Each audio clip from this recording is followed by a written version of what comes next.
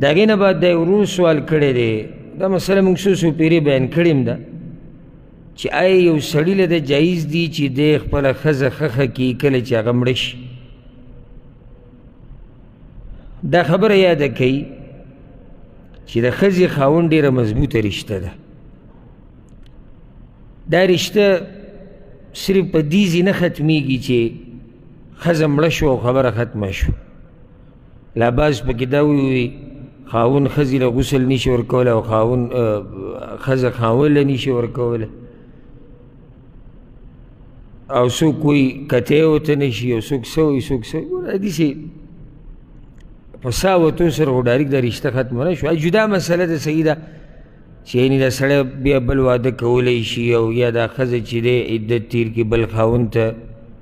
په نکاح کېدی شي خو دا خبره یوازې په دې خو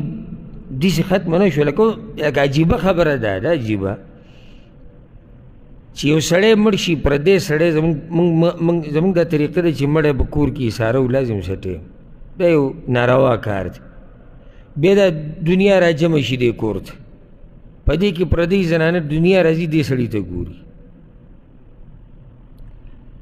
دی باندې چې څوک رد نه کوي چې یاره دا سړی خو د دې ښځې دپاره پردی دی دا ورته څنګه ګوري خو خپله ښځه نه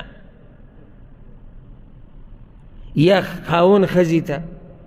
یا د غسل خبره چې وکړي دا د بل جرم وکړو دا خو وفاداري دا ده چې ښځه خاون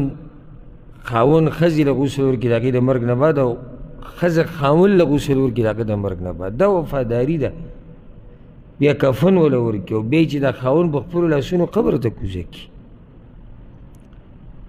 یعنی رسول صلی الله علیه وسلم پرې دلیل وخیم ګور رسول صلی الله علیه وسلم د خدیجې رضی الله عنها د مرګ نه بعد د هغې د ملګرو به خیال ساتو یعنې کومو زنانو چې د هغې سره ملګرتیا وه هغوی له به هدیه او تحفې لېږلې داسې وړه رشته خو نه ده چېره ښځه مړه شو قصه ختمه شو یا خاون مړ شو خبره ختمه شو نو وفاداري دا ده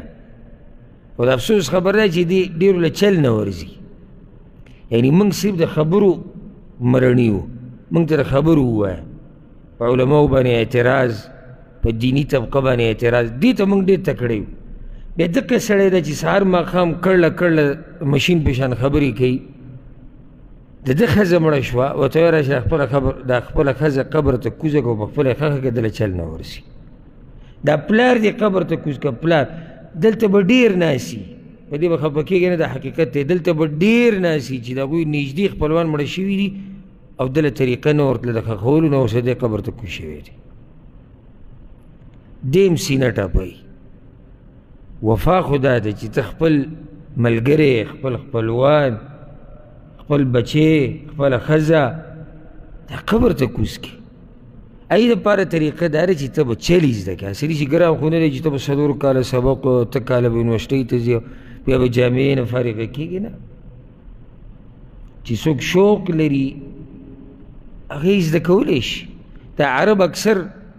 د خپل خپلوان او د خپل خلک په خپله ښخوي بل چا ته پکې ضرورت هم نه راسي زمونږ هغه نندارې کوي یو دوه درې کسان یې بس د هغوی دا کار دی مشران سپینګیري د هغوی هم غلطي ده څوک لاس نه شي وړی که لاس وړي چغه کوي د باندې راکوز نه شي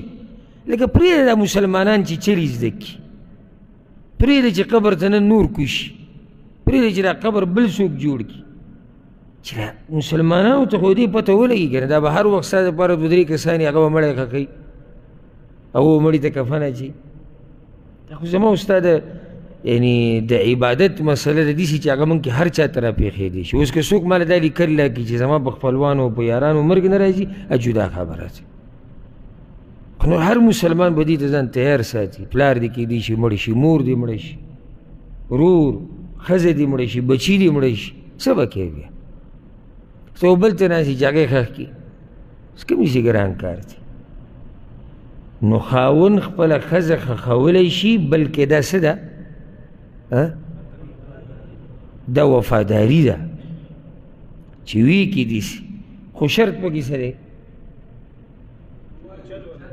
چې دغه شپې له کورواله نه کړه بارک الله فیک جواب چا راکو ستنی نشاته پټ نه ا دغه ښا بارک الله فیک چې دغه شپه چې کوم تیر شو چې په دې باندې د کورواله نه کړي او که چېرته کورواله کړي نو بیا بل کس به خخی اگر که هغه جنبی د دې ښځې لپاره پردې سړی هم ښه کولی شي خو شرط پکې دقه یو دی لکه حدیث د انس ابن مالک رضی الله عنه وی شهیدنا بنتا لرسول الله صلی الله علیه وسلم د رسول الله وسلم لور چې دی هغه مقبرې ته راوړی شو کله چې د خښولو ټیم راغی نو ما رسول الله وسلم ته وکتو چې هغه د قبر په غاړه ناسو فرأیت عینیه تدمعان او د سترګو نه اوښکې روانې وی هل منکم رجل لم یقارف اللیله تاسو کوم سړی د دې شپې خې سر نه ملاو شي نه ابو طلحه رضی الله عنه زه رسول الله سلام وتی ته قبر ته کوش علاګه دای خاون عثمان رضی الله هو دې ټیم کې ابو طلحه رضی الله عنه کوشو ځکه چې هغه د شپې له خې سر کورواله نو کړه نو ملاو شي دا شرط دی هر چې رسول صلی الله علیه وسلم دی نو داغه په ژوند کې صرف یو بیبي وفات شوې ده خدیجه رضی الله عنها او د نور ټولې د رسول صلی الله نه بعد وفات شوي دي خو دا خبره بیا هم ثابته ده د حدیث د عایشې رضی الله عنها نه چې کله رسول صلی الله علیه وسلم د ژوند په آخرنۍ شپو کې لاړ بقیع ته قصه به تاسو ته یادې او بیا چې راغی وی په سر مې دړلې